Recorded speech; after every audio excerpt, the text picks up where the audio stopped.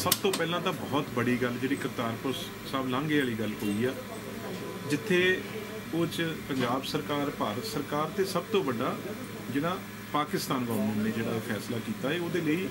ਬਹੁਤ ਵੱਡਾ ਸ਼੍ਰੇਅ ਹੈ ਜਿਹੜਾ। ਉਹ ਨਵਜੋਤ ਸਿੰਘ ਸਿੱਧੂ ਸਾਹਿਬ ਨੂੰ ਜਾਂਦਾ, ਕਿਉਂ ਜਾਂਦਾ? ਕਿਉਂਕਿ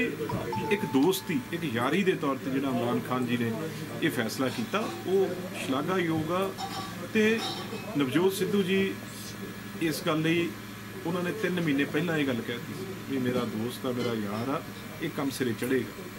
ਹਾਂ, ਜਿੱਥੇ ਤੱਕ ਜਿਹੜੀ ਹੁਣ ਤੁਸੀਂ ਗੱਲ ਕਰ ਰਹੇ ਹੋ ਵੀ ਉਹਨਾਂ ਨੇ ਇੱਕਦਮ ਆ ਕੇ ਜਿਹੜੀ ਇੱਕ ਪ੍ਰੈਸ ਕਾਨਫਰੰਸ ਦੇ ਵਿੱਚ, ਤੇਲੰਗਾਨਾ ਦੇ ਵਿੱਚ ਇਹ ਗੱਲ ਹੋਈ ਲੱਗਦੀ ਆ, ਉਹ ਇੱਕ ਦੋ ਗੱਲਾਂ ਨੇ ਉਹਦੇ ਵੀ ਮੈਂ ਤੁਹਾਨੂੰ ਸਪਸ਼ਟ ਕਰੂੰਗਾ। ਵੀ ਕਿਸ ਲਿਹਾਜ਼ੇ ਨਾਲ ਮੀਡੀਆ ਨਾਲ ਗੱਲ ਕਰ ਰਹੇ ਸੀ ਮੀਡੀਆ ਕੀ ਪੁੱਛ ਰਿਹਾ ਸੀ, ਉਹ ਆਪਾਂ ਨੂੰ ਪਤਾ ਨਹੀਂ, ਉਹਨਾਂ ਦੇ ਜਵਾਬ ਪਤਾ ਹੈ ਹਾਂ, ਜਿੱਥੇ ਤੱਕ ਗੱਲ ਕੈਪਟਨ ਸਾਹਿਬ ਦੀ ਆ, ਕੈਪਟਨ ਦੀ ਆ ਉਹ ਸਪਸ਼ਟ ਗੱਲ ਆ ਵੀ ਦੇਸ਼ ਦਾ ਕਾਂਗਰਸ ਪਾਰਟੀ ਦਾ ਪ੍ਰਧਾਨ ਰਾਹੁਲ ਗਾਂਧੀ ਤੇ ਉਹੀ ਕੈਪਟਨ ਨੇ।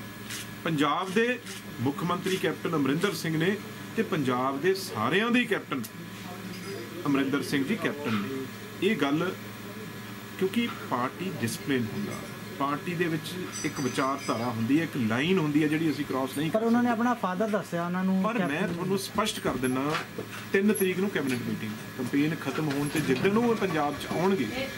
ਉਹਨਾਂ ਨੇ ਹਮੇਸ਼ਾ ਕੈਪਟਨ ਅਮਰਿੰਦਰ ਸਿੰਘ ਨੂੰ ਆਪਣਾ ਬਜ਼ੁਰਗ ਫਾਦਰ ਫਿਗਰ ਮੰਨਿਆ ਤੇ ਮੇਰੀ ਗੱਲ ਵੀ ਹੋਈ ਆ ਉਹਨਾਂ ਦੇ ਪਰਿਵਾਰਿਕ ਮੈਂਬਰਾਂ ਨਾਲ ਉਹ ਆ ਕੇ ਇਹ ਗੱਲ ਸਪਸ਼ਟ ਕਰਨਗੇ ਵੀ ਮੇਰਾ ਕੈਪਟਨ ਪੰਜਾਬ ਦੇ ਮੁੱਖ ਮੰਤਰੀ ਕੈਪਟਨ ਅਮਰਿੰਦਰ ਸਿੰਘ ਨੇ ਪੰਜਾਬ 'ਚ। ਤੇ ਮੇਰੇ ਫਾਦਰ ਫਿਗਰ ਨੇ, ਮੈਨੂੰ ਉਹਨਾਂ ਦਾ ਆਸ਼ੀਰਵਾਦ ਆ, ਉਹ ਆਸ਼ੀਰਵਾਦ ਪੈਰੀਂ ਹੱਥ ਲਾ ਕੇ ਵੀ ਲੈਣਗੇ, ਇਹ ਮੈਂ ਤੁਹਾਨੂੰ ਵਿਸ਼ਵਾਸ ਨਾਲ ਕਹਿ ਸਕਦਾ।